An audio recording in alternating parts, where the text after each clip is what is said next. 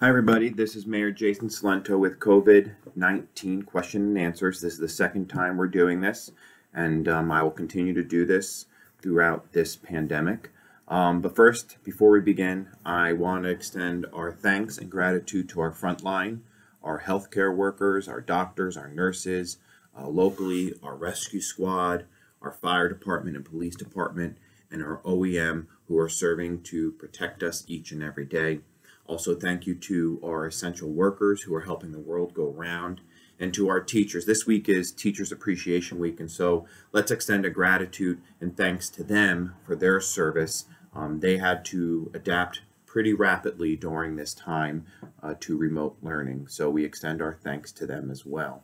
Also, before we start the question and answers portion of the video, I just want to extend thanks to all the volunteers who have stepped up to help on the various initiatives that are going on through Dunellen during COVID 19. You are the backbone of this community, and we are so grateful for your volunteerism. It's proven that Dunellen is truly the, a volunteer town. As a reminder, we've extended our Dunellen COVID 19 pop up food drive. We are collecting unopened, unexpired, non perishable food items on Thursday, May 7th between 10 a.m. to 12 p.m. Drop off location is the Living Hope Outreach Center located at 201 Whittier Avenue. And if you are a resident in need, please contact Alex Miller, our Recreation Director, at 732 968 3033, extension 8, and he will schedule you for uh, pickup times that we are doing on Saturday, May 9th at the Living Hope Outreach Center. The Middlesex County Public Health Department is reporting only the cumulative total for all municipalities, and that's the data that I report back to you.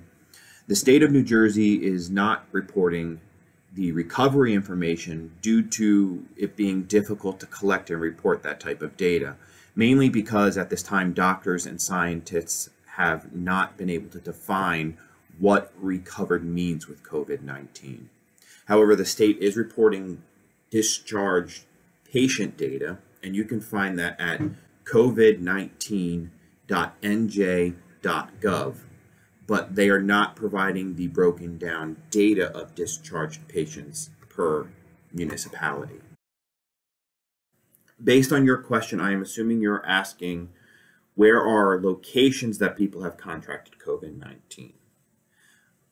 Unfortunately, we are unable to answer that question due to the Middlesex County Public Health Department advising us that common spaces such as stores or parks are low risk areas and therefore are not recorded. Additional information such as residential homes, the Borough of Dunellen is not able to report this type of information due to HIPAA violations. However, due to how COVID 19 is contracted through being airborne or in person contact or by touching surface areas that are often used, you should always assume that you are potentially being exposed. Therefore, always wear a mask and gloves when going outside of your home. And if you have someone who ill who is ill in your household, you should practice this within your homes as well. Also, constant washing of your hands with soap assists in lessening the chance of contracting the disease as well as spreading it.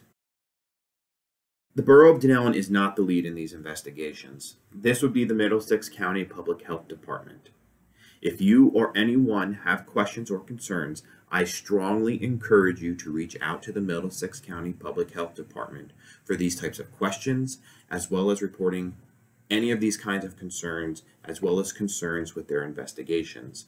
The contact information for the Middlesex County Office of Health Services is 732 745 3100. The Borough of Dunellen is following and enforcing the Governor's executive orders.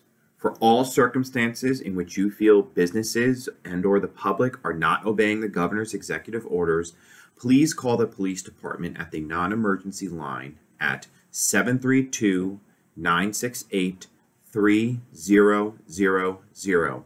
When the dialing options come up, press zero and it will take you to dispatch. At that time, you can report your concern and a police officer will be sent and inspect the situation and will act as they deem appropriate. If you feel any business in Dunellen or surrounding communities are violating the governor's executive orders, you may report them on the New Jersey COVID 19 Information Hub at covid19.nj.gov backslash violation. Branches and leaf bags, including grass clippings during this pandemic, will be picked up curbside until the end of May by the DPW. Governor Murphy's Executive Order 107, the stay at home order, is intended to help stop the spread of the disease. Governor Murphy stated, and I quote, We know the virus spreads through person to person contact, and the best way to prevent further exposure is to limit our public interactions to only the most essential purposes. This is a time for us all to come together in one mission to flatten the curve and slow and eventually halt the spread of the coronavirus. End quote. I may disagree with the governor on other issues, but with this one, I do agree with him. We have yet to see Dunellen's numbers go down, and therefore no flattening of our curve. Surrounding communities are experiencing a similar upward curve in their numbers too. I understand these orders test what we believe government's role may be in our lives. But to ensure we flatten the curve, it will take a collective effort on all of our parts. The sooner this happens, in terms of the, the curve flattening, the sooner we can begin to open things back up and get back to some kind of normal. But this means we must stay home, only travel when necessary, and practice social distancing when in public. On this question, I reached out to Councilwoman Jessica Dunn, who has a PhD in biomedical engineering with almost 17 years in the professional space in immunology and infectious diseases. So, first, we are happy to hear that you are on the road to recovery. As with all medical questions, the best advice will come from your physician, including those regarding how to approach the question about your individual exposure.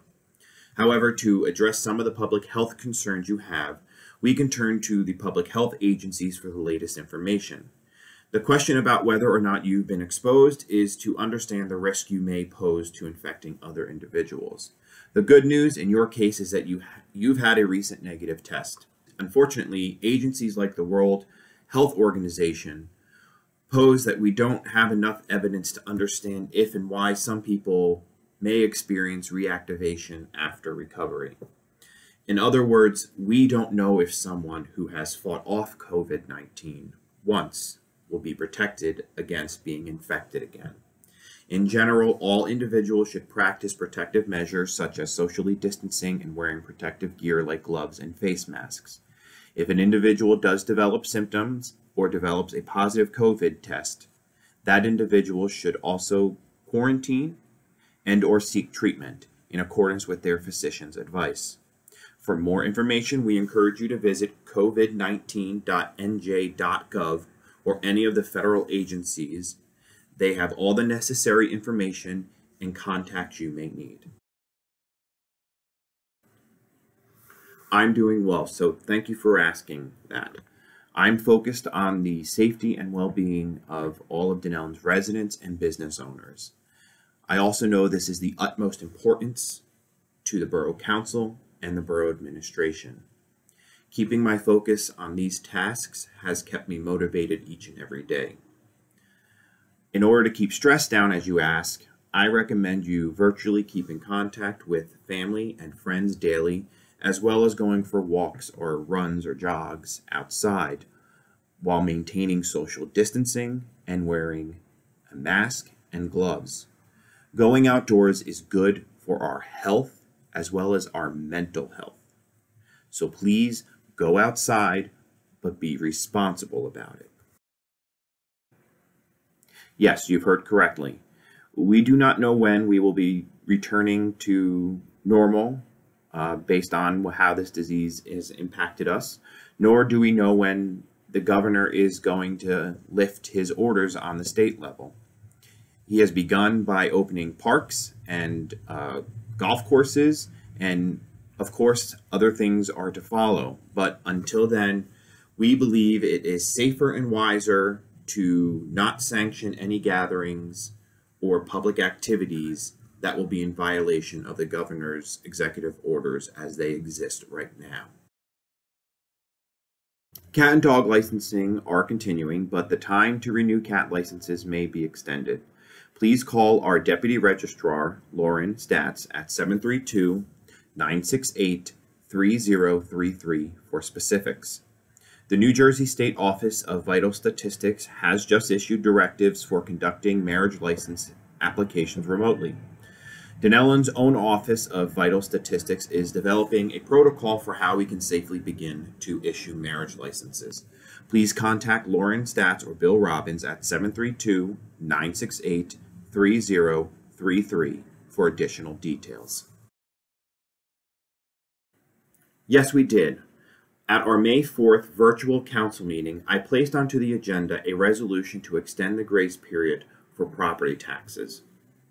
The Borough Council voted unanimously to extend the grace period to the second quarter property taxes until June 1st. Therefore, no interest shall be assessed on tax payments received by the close of business day on June 1st. Any outstanding balances after June 1st will be subject to interest calculated to the original May 1st due date. That's per state law requirements. Please note that this resolution does not change the due date of the second quarter tax bill. Per the governor's executive order, it extends the grace period, which is normally 10 days, until June 1st. The Borough Council and myself did this because we understand the, the financial hardships that may be occurring on residents due to COVID 19. So we wanted to provide some kind of relief through extending the grace period. Um, so we hope this does help some individuals in town. So this concludes our second question and answers regarding COVID 19.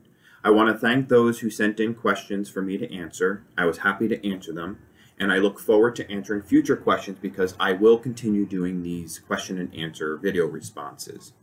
As always, I want to remind you that I am just a phone call or email away. Please use me as a resource. If I don't know the answer directly, I will find out the answer for you, or I will connect you to the proper agency or authority that will provide you the correct answer. We will get through this, no matter how hard it seems right now. Until we speak again, my friends, please be safe and stay well.